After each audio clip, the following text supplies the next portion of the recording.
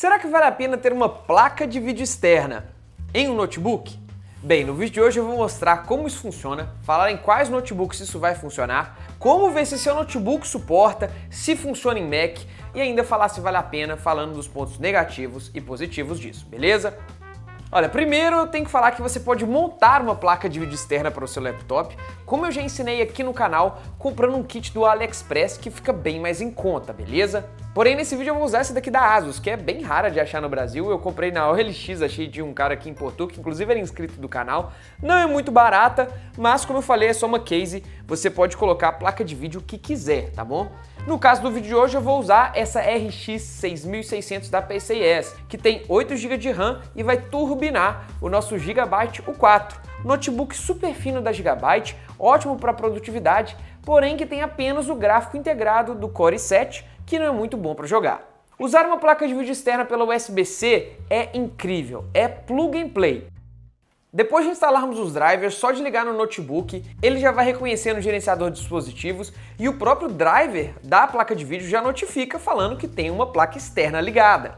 Isso tanto a Nvidia quanto a AMD. Eu já testei as duas marcas né, diferentes nessa case e foi a mesma coisa. E aí a gente pode abrir os jogos e aproveitar o desempenho extra usando uma placa de vídeo externa. Dependendo do hardware do seu notebook, vale muito a pena. No caso desse Gigabyte, igual eu comentei, tinha apenas a placa de vídeo integrada. Se ele tivesse uma placa de vídeo dedicada, também funcionaria normalmente. Aí, para não ter conflito de driver, se a gente usasse uma placa de vídeo externa AMD e a placa de vídeo interna fosse NVIDIA, é só desativar lá no gerenciador de dispositivos, beleza? No caso desse aqui, que tinha apenas a placa integrada, no GTA V a performance praticamente dobrou. Estou mostrando a diferença para vocês verem e ficou fantástico.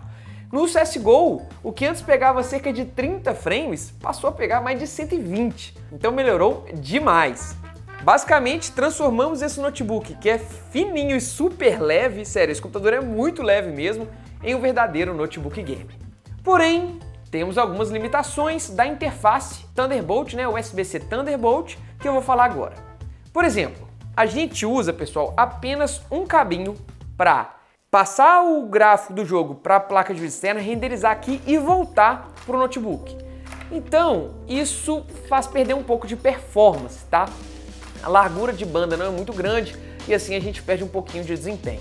Tanto é que se a gente ligar em um monitor externo, a performance melhora, pois tira esse gargalo do gráfico ir para a placa de vídeo voltar para o notebook. Aí vem para a placa de vídeo externa e vai para um monitor externo. Eu estou mostrando aí para vocês verem e nos meus testes eu tive melhoras de 12 até 15%, tá? Eu vi na internet que teve gente que conseguiu até mais de 20% em alguns casos. Então, assim, se você quiser extrair o máximo da sua eGPU, né, que é o que a gente chama de placa de externa, External GPU, ligar em um monitor externo é a dica, beleza? Outro problema é que a largura de banda do protocolo Thunderbolt, USB-C Thunderbolt 3 ou Thunderbolt 4, é de até 40 gigabits por segundo. Enquanto uma interface PCI Express que temos em um desktop, né, na placa-mãe do nosso desktop, consegue transferir até 100 gigabits por segundo. Ou seja, usando uma case de placa de vídeo externa, a gente limita um pouco nossa placa de vídeo. A gente não vai conseguir extrair o máximo dela.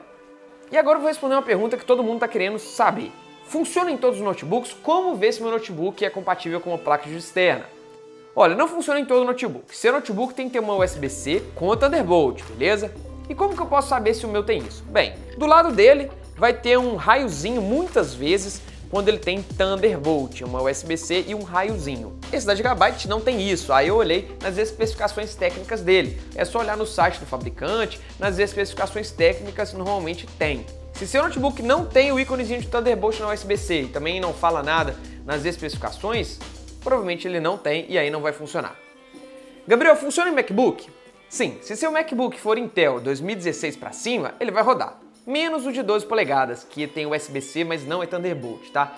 Os Macs mais antigos de 2016 têm Thunderbolt, mas é Thunderbolt 2, que passa apenas 40 GB por segundo, ou seja, metade do Thunderbolt 3 ou Thunderbolt 4, então vamos perder ainda mais desempenho e você também vai ter que comprar um adaptador Thunderbolt 2 para Thunderbolt 3, que não vale muito a pena na minha opinião. E se seu MacBook for com processador ARM, M1, M2, M1 Pro da vida, qualquer um que seja, não é compatível, tá? Infelizmente, isso é uma vantagem dos MacBooks com processador Intel, ou felizmente, né, uma vantagem dos MacBooks com processador Intel, que suportam placa de externa enquanto os ARMS não funcionam, beleza?